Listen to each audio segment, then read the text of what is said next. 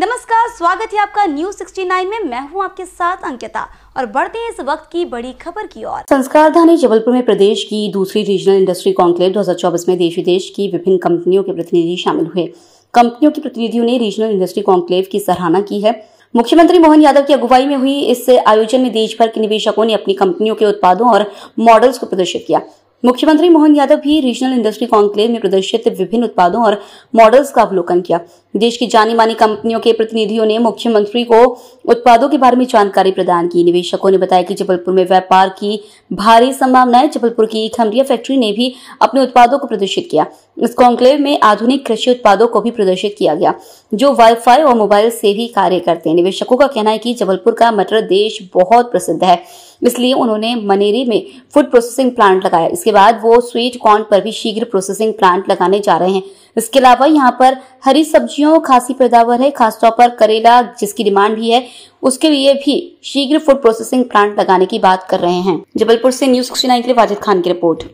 Factory Khamaria की ओर से लगा हुआ है। ये पूरा हमारा एमुनेशन साइट से है, जिसमें एंटी टैंक और एंटी एयरक्राफ्ट एंटी एयर के बम जो हैं, यूज़ किए जाते हैं प्रेजेंट में, वो लगाए गए हैं। और हमारी कोशिश ये है कि यहाँ से ज़्यादा से ज़्यादा हमको जो पार्ट्स चाहिए होते हैं या जो हम बाहर से इन्वेस्ट करके बुलवाते हैं, वो हमारे इंडिजीनियस डेवलप हों और वो हमको प्रोवाइड करें ताकि और आसानी से ज़्यादा से ज़्यादा हम प्रोडक्ट बना सकें। मेरा चंद्रशेखर मिश्रा।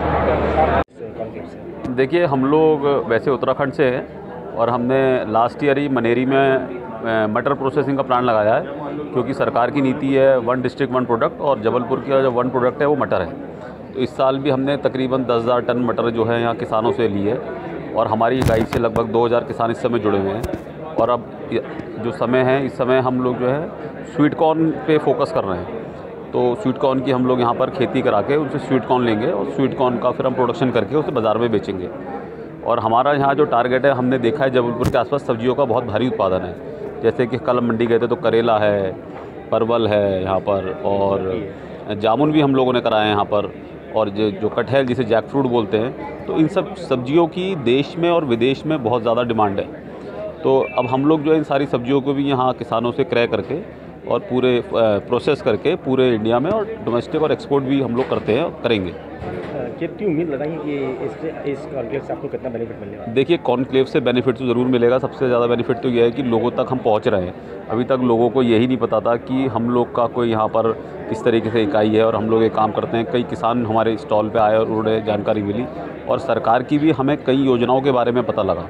जैसे एमएसएमई में अभी हम लोग गए थे स्टॉल पे तो कई सारी योजनाएँ ऐसी हैं जो, जिनके बारे में हमें जानकारी नहीं थी और उससे हमें जानकारी बढ़ रही है। सरकार की वित्तीय सहायताएँ हैं, जो सरकार हमें बिजली में कुछ छूट मिल रही है फ़ूड प्रोसेसिंग की, वो सब योजनाओं के बारे में हमें जानकारी मिल रही है और हमें उसका फ़ायदा ज़रूर पहुँचेगा। मेरा नाम है अपूर्व जिंदल और हमारी इकाई है नीलाम्बरा बेवरेजेज एलएलपी जो मनेरी डिस्ट्रिक्ट मंडला में स्थापित है। इस खबर पर आपकी क्या है राय, हमें कमेंट सेक्शन में ज़रूर बताएँ। तब तक के लिए धन्यवाद।